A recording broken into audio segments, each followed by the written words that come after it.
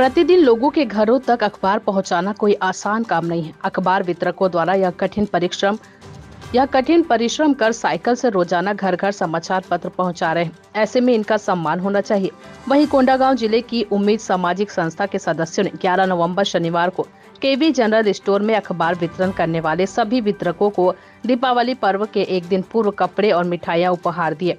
उम्मीद सामाजिक संस्था के सदस्य फिरोज मिमन और डिक्की जायसवाल ने उनके कार्यों की सराहना करते हुए कहा कि हर मौसम में अखबार वितरक अपने कार्य को बखूबी निभाते हैं।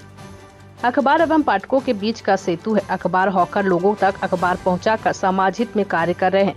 इनका हर तरफ़ सम्मान होने की बात भी कही। इस दौरान उम्मीद सामाजिक संस्था के सदस्य फिरोज मेमन, डिक्की जायसवाल, भरत भारद्वाज, हरीश साहू सहित अखबार वितरक मौजूद रहे। कोंडा गाँव से राम कुमार भारद्वाज की रिपोर्ट।